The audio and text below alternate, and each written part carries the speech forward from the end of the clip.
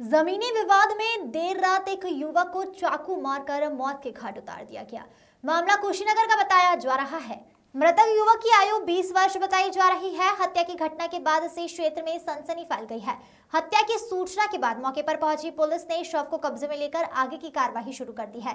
सड़क पर टहलने के दौरान बाइक से आए लोगों ने यह हत्या को अंजाम दिया। पुलिस ने हत्या के मामले में दो लोगों को हिरासत में लेकर पूछताछ शुरू कर दी है। हिरौली थाना क्षेत्र के लेहनी ग्राम सभा का मामला बताया जा रहा है।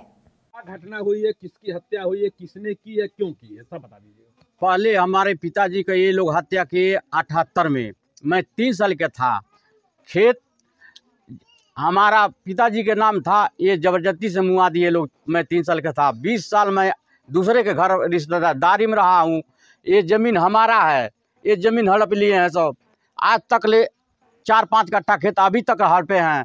उस खेत में पेड़ है, वो भी कह रहे हैं हमारा है। इस पर पूरा ज़मीन पर हमारे स्टे किए हैं। ये खपड़ा का मकान था।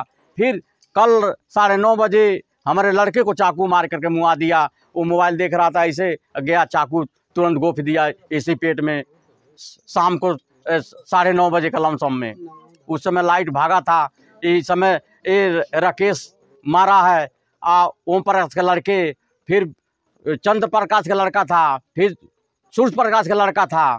तीनों तीनों मोटरसाइकिल से गए हमारे लड़के को मार दिए हमारे पिताजी की हत्या अठहत्तर में किए थे मैं उस समय तीन साल के था। तब से विवाद ये चल रहा है। आ, हमको ये नहीं मालूम था ये मार देगा। एक बार हमको और कट्टा यहाँ मैं खाना खा रहा था तो कट्टा फिर चार आदमी देखे लेडीज़ देखी लेकिन कोई नहीं कहा। वो वहाँ जाकर सुलह हम करा दिए लोग पैसे के बल पर। ये सब भूम माफिया हैं। आज के नहीं हैं।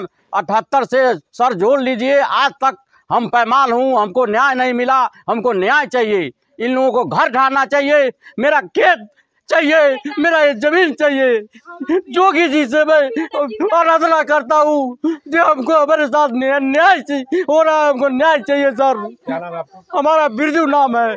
उस समय बुद्धू हथियारे थे वेद प्रकाश हमारे पिताजी के मारे थे।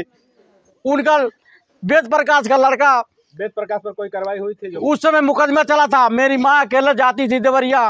वो बिला जाती थी। खेत की पैरवी नहीं हुआ। ये लोग बरी हो गए। सुदामा बहू वो वो बन गई बुद्धू की औरत। उसमें बरी हो गए। फिर हमारे लड़के को मार दिए शाम को साढ़े नौ बजे। आपका लड़का क्या नाम है? शिव कुमार। क्या करता था वो? वो अभी तो वो केरला से अभी पाँच सात आठ दिन हुआ है आया है। किसी से कोई विवाद नहीं उसका। बहुत मतलब कोई नहीं नहीं गाँव भर कह सकता जो उसका कोई विवाद है। आपका क्या नाम है? हमारा बिरजू